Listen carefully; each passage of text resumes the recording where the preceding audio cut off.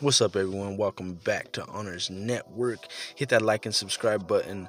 I'm just giving you all the highlights of the match with Daniel Bryan and Jey Uso from last night on Friday Night SmackDown. I'm not sure if um, Daniel Bryan's gonna end up being in Survivor Series on Sunday or Jey Uso. No, Jey Uso, he's on the SmackDown team, but he lost in this match. But look, they took a lot of punishment in this match. Watch, check this out boom, right through the announce table. And I think you see like he landed on, you know, when they be going through those tables, they be landing on like, what are those little pads or whatever they are, and they're sticking up in the middle of the back. And damn, that shit must have hurt. And then boom, right off the top of the rope. That's a big impact too. And then watch this next one. this next one's crazy, bro. This next one's crazy. oh no, not right there. But what do y'all think? Y'all think uh, Uso is gonna end up uh, getting a beat down by Roman Reigns for doing this? I don't think that's necessary, but who knows what the storyline is gonna go to? You know, it's pretty cool. St- Damn, that looks like they hurt for real. When you put elbows into someone's side and stuff like that, and you knee them in the back, that hurt for real.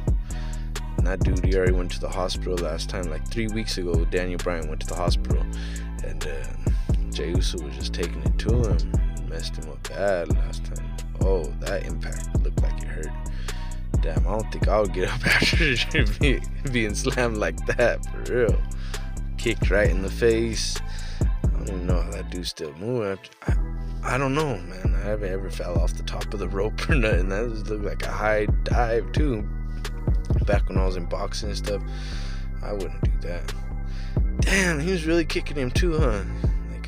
He's kicking him like plush in the face. And this is the end of the match. Let's check this out. I don't think he landed too hard on those knees, but Daniel Bryan got him, guys. Daniel Bryan got him. Can you believe that? Daniel Bryan done got Jey Uso. We'll see what happens on Survivor Series or next Friday night. SmackDown what's going to happen between Roman Reigns and Jey Uso if there's a storyline continuing with that. Or excuse me, excuse me. I ended up having a cough all bad. Hit that like and subscribe button. Honors Network. Be back soon.